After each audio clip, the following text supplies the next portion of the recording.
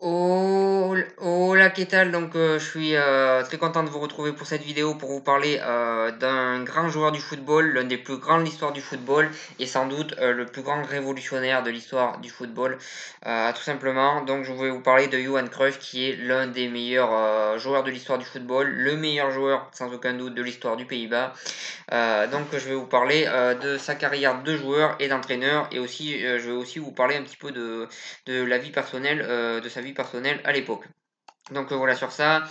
Donc Cruyff, il est né en, euh, il est né en, en 1947 euh, à Amsterdam, donc euh, voilà, c'est un vrai, euh, un vrai, euh, un vrai Amsterdamois, je sais pas si ça se dit.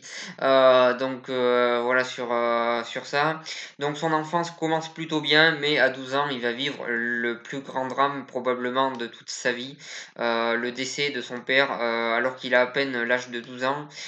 Donc son père va décéder d'une crise cardiaque, et c'est peut-être ça qui va forger son fort caractère et euh, c'est peut-être le tournant de sa vie euh, selon euh, beaucoup de personnes. Donc ensuite, il est devenu professionnel en 60, enfin, il a signé officiellement avec, pas professionnel, pardon, il a signé officiellement en 64 avec l'Ajax d'Amsterdam, enfin dans l'équipe première, on va dire même s'il n'y joue pas au début, il a quand même signé pour euh, l'équipe première. Donc voilà sur, sur ça. Donc il faut savoir que à l'époque où il a signé à l'Ajax d'Amsterdam, la situation des Pays-Bas politiquement était assez catastrophique. Et niveau football, c'était pas guère mieux vu que les joueurs à l'époque n'étaient pas professionnels et étaient très peu payés. Donc voilà, c'était une situation assez compliquée que notamment Cruyff a révolutionné à sa manière vu que euh, vu que notamment avec son beau-père, donc le mari de sa femme, euh, euh, le, n'importe quoi. Euh, pardon, le, père de sa femme, évidemment, n'importe quoi. le père de, de, sa femme, donc qui va lui servir d'agent et du coup qui va développer avec Crush une véritable marque, comme le sont à l'heure actuelle CR7 ou, ou Neymar. Et bien à l'époque, Crush va réussir à faire ça et c'est le premier, et c'est la première personne à avoir fait ça dans le monde du football avoir fait de, de son image une marque. Donc voilà, sur, euh, sur ça, c'était euh, complètement révolutionnaire à l'époque. Donc voilà, sur ça, ça a souligné. Ensuite, euh, avec euh, l'Ajax, ben, euh, petit à petit, l'Ajax va commencer à avoir de résultats de mieux en mieux, et notamment avec un très très bon entraîneur qui va prôner le, football total, qui s'appelle Rinus Michel. donc voilà, un style de jeu qui, qui est misé sur l'attaque, sur la circulation de balles, et notamment sur la permutation des postes, vu que tout le monde défend, tout le monde attaque. Donc, donc voilà, c'est euh, c'est un système de jeu assez particulier, on va dire, euh, qui va vraiment révolutionner le, football. Et euh, Cruyff va être naturellement son meneur, vu que c'était le meilleur joueur de cette équipe-là à l'époque. Donc ensuite, ils vont gagner trois Ligues des Champions d'affilée. Donc voilà, ils vont vraiment dominer sur l'Europe. trois Ligues des Champions d'affilée avec une grande facilité pour certaines. Ils vont vraiment dominer tous les clubs européens. Ils vont vraiment être largement au-dessus. Et, et, toute, et toute l'Europe du football va être, va être émerveillée devant cet Ajax euh, devant cet Ajax qui, euh, qui prône le football total. Donc euh, voilà, un jeu très, très offensif et, et c'est finalement la fin du catenaccio avec le football italien. Et là, on voit vraiment un football offensif qui commence à gagner, tout simplement. Donc euh, voilà sur ça. Donc il gagne ces trois Ligues des Champions là d'affilée avec l'Ajax. Ensuite il décide de partir euh, pour Barcelone. Donc la situation de, de l'Espagne à l'époque était franchement pas terrible. Donc euh, voilà, politiquement c'était euh, c'était compliqué on va dire.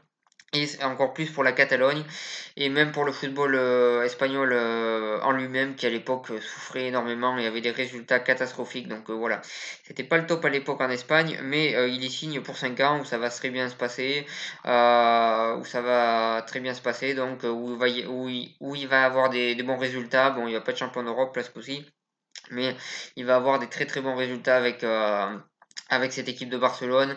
Euh, le public de Barcelone va l'adorer et il va vraiment euh, bien, ça va vraiment bien se passer pour lui à Barcelone. Donc euh, voilà sur voilà sur ça, pas grand chose d'autre à dire là-dessus. Ensuite, je vais pas parler de son court passage aux États-Unis, notamment notamment au Los Angeles Aztec et au Washington Diplomate. Je vais pas en parler parce que je trouve que c'est pas utile. Son très très court passage à l'Eventé, je vais pas en parler non plus. ensuite, il revient en 81 à l'Ajax d'Amsterdam où ça se passe bien pendant deux ans et euh, où il fait des bons matchs, même si euh, il, est plus aussi fort qu'avant. Euh, on va dire qu'il s'est adapté son jeu par rapport à, l'âge qu'il a à l'époque et il fait, des, il fait des bons matchs durant ces deux ans-là à l'Ajax Amsterdam. Ensuite, il va être en désaccord total avec les dirigeants, il va vraiment s'énerver énormément contre eux et du coup, il va leur faire la pire des vengeances, c'est-à-dire euh, signé euh, dans l'ennemi juré le Feyenoord où il va rester un an. Ça va plutôt bien se passer là aussi. Enfin, je parle euh, sur le terrain. ça va plutôt bien se passer là aussi. Il va avoir des, bons résultats. Il va être important dans le jeu. Il va pas il va pas jouer tous les matchs comme comme il a comme il est en fin de carrière et qu'il a plus la forme pour jouer tous les matchs, mais il va faire en tout cas une très bonne saison avec le Feyenoord.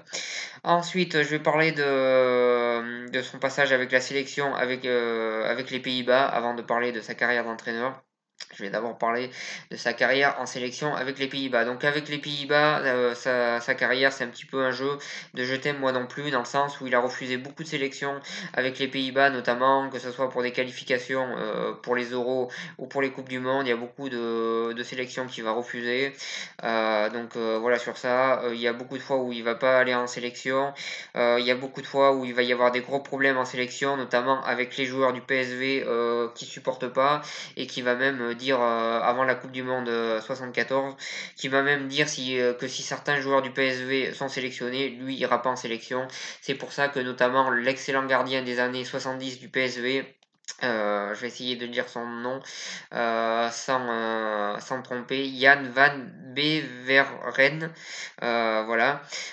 donc cette, ce gardien qui était juste excellent à l'époque, ben, finalement il va pas il va pas être sélectionné pour la Coupe du Monde alors que c'était vraiment le meilleur gardien de l'époque des Pays-Bas, tout simplement parce que il s'entendait pas du tout avec Cruyff et que leur relation était catastrophique et que du coup il n'a pas été sélectionné comme d'autres joueurs du PSV et c'est d'ailleurs dans ces années-là que commencer la rivalité euh, entre le PSV euh, et l'Ajax d'Amsterdam, vu que les joueurs du PSV euh, trouvent les joueurs de l'Ajax arrogants et que le public du PSV trouve le public de l'Ajax arrogant. Et voilà, l'Ajax à ce moment-là est considéré comme un club assez arrogant. donc, donc voilà sur ça. Ensuite, ensuite, Ensuite, donc, euh, il y a eu cette Coupe du Monde, bien sûr, 60, 74, où, il où ça va être sûrement la, meilleure Coupe du Monde de l'histoire du Pays-Bas, où les Pays-Bas surprennent le monde entier en produisant un football juste magnifique et juste, euh, et juste voilà, un très très beau football.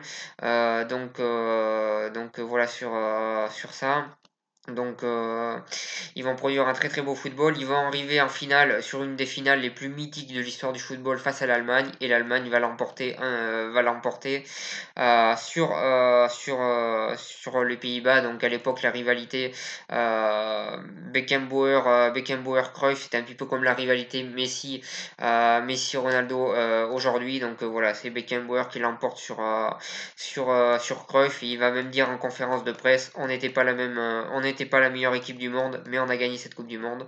Donc euh, voilà, les Pays-Bas malheureusement vont perdre cette Coupe du Monde, euh, mais ont en tout cas révolutionné le, football, euh, le football, et c'est, on va dire le, et c'est, c'est le perdant le plus connu de l'histoire de la Coupe du Monde, vu que je pense que tout le monde sait que le Pays-Bas a perdu en finale, alors qu'il y a d'autres pays, on ne sait pas trop, mais je pense que c'est vraiment le, le perdant le plus connu de l'histoire du football, même si c'est pas très glorifique de dire ça. Donc voilà sur, sur ça. Ensuite, je vais parler de sa carrière d'entraîneur. Donc, il a été entraîneur euh, d'abord euh, pendant trois ans à l'Ajax. Euh, donc, voilà. il va commencer à l'Ajax. donc, avec l'Ajax, il va y avoir du bon et du moins bon. Il va y avoir du bon et du moins bon, mais dans l'ensemble, ça reste correct. Euh, mais à la fin, il va finir par se séparer, euh, par, par, quitter l'Ajax, comme d'habitude. Quelques problèmes avec les dirigeants, euh, quelques problèmes avec les résultats, tout ça. Donc voilà, il va quitter le, le club, même s'il a, même s'il a fait des bonnes choses et des choses un petit peu moins bonnes. mais en tout cas, il va y rester 3 ans. Ensuite, il va passer 8 ans en tant qu'entraîneur de Barcelone. Et là, il va véritablement révolutionner le football barcelonais, euh, notamment. Notamment euh, en faisant euh, en produisant le football qu'on connaît à l'heure actuelle de Barcelone euh, c'est lui qui, a commencé à le, produire. Ce fameux jeu de ce fameux jeu de passe ce fameux tiki taka donc je sais pas si à l'époque ça s'appelait le tiki taka mais en tout cas c'est voilà c'est le football très offensif qui va prôner avec Barcelone. Avec Barcelone au début ça va plutôt bien se passer. Ils vont gagner pas mal de titres de, de champion national avec lui. Et ils vont même finir par gagner et ils vont même finir par gagner euh, la, Ligue, euh, la Ligue des Champions en 92. Euh, la première de toute l'histoire du, club de Barcelone après avoir perdu quelques finales. Ils finissent enfin par la gagner. Et c'est Cruyff l'entraîneur. Et, voilà, c'est un moment. C'est peut-être le, plus beau moment de l'histoire du football barcelonais. Donc euh, voilà, ensuite il revient en finale en 94, mais là ça va très très mal se passer, ils vont perdre 4 à 0, euh, enfin le Barça va perdre 4 à 0 face au Milan AC. Euh, donc voilà sur ça, et ensuite les dernières années se passent pas très bien et il décide, il décide tout simplement, et le club décide tout simplement de le licencier, il me semble que c'est pas lui qui est parti, il me semble qu'il a été licencié. donc voilà sur, sur ça. Donc voilà, c'est à peu près tout ce qu'il y a à dire. Donc euh, voilà. Après, il a été aussi dirigeant du Barça et c'est là aussi où il a où il a créé où il a créé où il a créé ce centre de formation qu'on connaît aujourd'hui, la Masia comme elle est aujourd'hui, c'est en grande partie grâce à lui et c'est lui qui a dit que toutes que toutes les catégories de jeunes devaient jouer comme l'équipe première et il a vraiment révolutionné le football à ce niveau-là et ça c'est à souligner aussi. Donc voilà sur ça. ensuite, il a aussi été dirigeant euh, un petit peu de temps après à l'Ajax. C'est là où notamment il a, il a dit que le centre de formation devait euh, se développer. Et là, il a aussi développé le, le centre de formation de... Il a aussi développé le centre de formation de, de l'Ajax euh, d'Amsterdam, tout simplement. et il a fait que le centre de formation soit au niveau qu'il est aujourd'hui notamment donc voilà sur ça donc il a fait énormément de choses dans le football c'était un personnage, euh, c'était un personnage qui avait beaucoup de défauts, qui était vraiment très arrogant. Euh, je vais pas trop parler de ses défauts parce que sinon la vidéo va être super longue. Donc euh, voilà, voilà sur ça. Mais en tout cas, c'était euh, quelqu'un qui avait pas que des qualités. Hein, je vous le dis tout de suite. Il avait énormément de défauts. Il était très arrogant, très sûr de lui. voilà, il avait pas mal de défauts, mais il avait aussi beaucoup de qualités. C'est vrai que j'ai parlé plus de ses qualités que de ses défauts durant cette vidéo. enfin, je n'ai pratiquement pas parlé de ses défauts, mais il en avait quelques-uns. Donc voilà sur ça. En tout cas, niveau qualité, il a vraiment révolutionné le football et je pense qu'on peut dire que Cruyff est le plus grand révolutionnaire de l'histoire du football. Voilà euh, pour cette vidéo. Si vous l'avez suivi jusqu'à la fin, je vous remercie et je vous souhaite une bonne continuation.